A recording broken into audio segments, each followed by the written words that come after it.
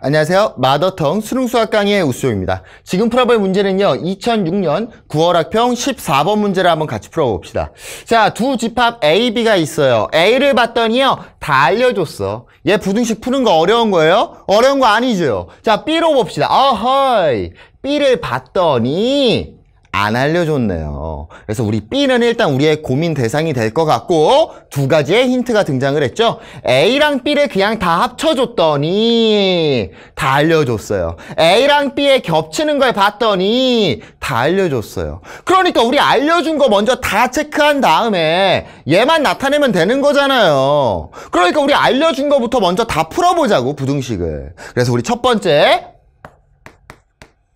알려준 것부터 다 부등식을 풀어주자고요. 그래서 첫 번째 A를 알려줬죠? 그래서 A를 봤더니요. X제곱 플러스 3X 마이너스 4가 0보다 작다의 꼴이잖아요. 그래서 얘 인수분해 때리니까요. X 플러스 4 x-1이 0보다 작다가 될 거고 얘 마이너스 4랑 1이죠. 따라서 작다니까 마이너스 4보다 크고 1보다 작다의 꼴이 되겠네요.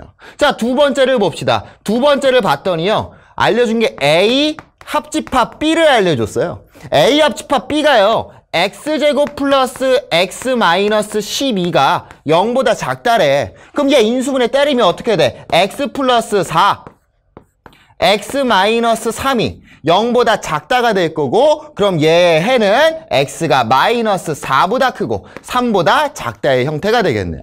자 이제 마지막 하나 남았죠. 마지막 하나 세 번째 a 교집합 b에 관해서 알려줬고요. 걔가 x제곱 마이너스 1이 0보다 작다래요. 그럼 얘 인수분해 때리시면 x 플러스 1, x 마이너스 1이 0보다 작다가 될 거고 작다니까 x의 범위는 마이너스 1에서 1까지가 되겠죠.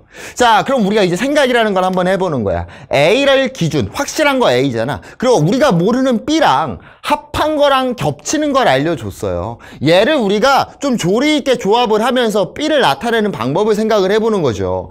솔직히 말하면 그냥 여기서 이미 나왔어. 이미 나왔습니다.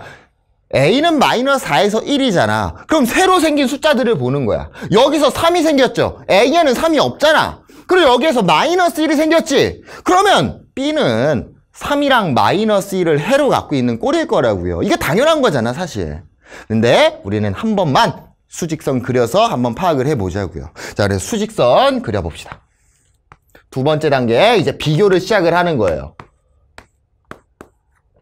자, A가 마이너스 4에서 1까지예요. 마이너스 4에서 1까지가 A였다고. 그 다음에 A 교집합 B를 봤더니 마이너스 1에서 1까지야. 그럼 교집합이라는 게 겹치는 부분이잖아요. 그럼 이 B는요. 마이너스 1에서 이런 식으로 갔겠지 일단은. 그래야 여기 부분이 겹칠 거 아니야. B가요. 이해됐죠? 그 다음에 마이너스 4에서 3까지가 합집합이래요. 마이너스 4부터 3까지가 돼야 된다고. 그럼 얘는 쫙 가다가 어디에서 떨어져야 되겠어? 3에서 떨어져야 되겠죠. 그래야 겹치는 게 마이너스 1에서 1이 되는 거고 합집합이 마이너스 3에서 마이너스 4에서 3까지가 될 거 아니야. 아, B라는 녀석은 마이너스 1에서 3까지가 되겠네요. 그래서 수직선으로 한번 추론을 해봤는데 원래는 그냥 보이셔야 되는 거라고요. 새로운 숫자 등장하면 걔는 B에서 나왔겠지. 아무튼 우리 B B의 해를 구했고요. B의 해는요. X가 마이너스 1보다 크고 3보다 작다잖아요. 그럼 우리 얘 인수분해 된 꼴은 X 플러스 1, X 마이너스 3이 0보다 작다의 형태였을 거고 전개 때리니까 X제곱 마이너스 2X 마이너스 3이 0보다 작다가 되겠네요. 자, 그럼 우리 이제 끝난 거 맞습니까? 비교를 해주시면 되는 거고 x제곱 플러스 ax 플러스 b니까요. a는 얼마? 마이너스 2였을 거고요. 그리고 b는 마이너스 3이었겠죠. 문제에서 구하라고 시킨 건